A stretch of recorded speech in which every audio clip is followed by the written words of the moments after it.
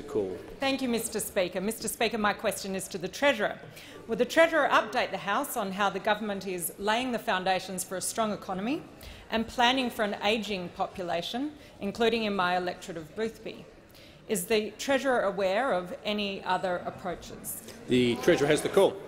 Thank you, Mr Speaker, and I thank the member for Boothby for her question because she deeply cares about the 27,000 seniors across her electorate and the nearly 4 million seniors across our country, Mr Speaker. And she also knows that our government is preparing for an ageing population. And according to the last intergenerational report, the numbers of Australians who are over the age of 85 will increase fourfold, Mr Speaker, between now and 2055 and the number of Australians who are over the age of 100 will, will increase ninefold, Mr Speaker, between uh, now and 2055. Now, this affects the way we plan for our education, for our employment, for our health services and for our aged care policy, Mr Speaker. And this is why we are increasing the funding for aged care by $1 billion a year, Mr Speaker.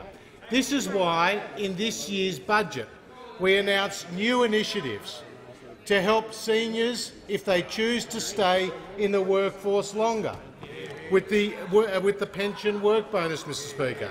This is why we announced in this year's budget a $17 million skills checkpoint plan in order to help older Australians get the training and the skills that they need. Now, Mr Speaker, these plans from our government are working because since the coalition came to government five years ago, over 400,000 older Australians have got a job, Mr Speaker. Over 400,000 older Australians have got a job as a result of our policies. Now, I'm asked about the other side, the alternatives that have been proposed by those opposite.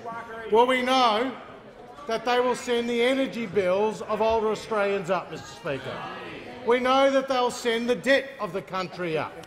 We know that they'll put up taxes, Mr Speaker.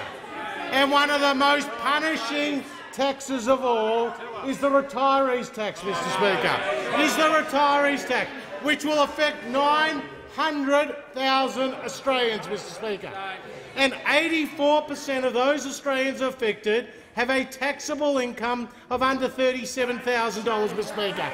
And 96 per cent of those older Australians affected have a taxable income under $87,000, Mr Speaker. So only Member our government Griffith. and the coalition can be trusted to create a stronger economy. Only our government and the coalition can be trusted to plan for our future and only our government and the coalition will support senior Australians and the choices that they make.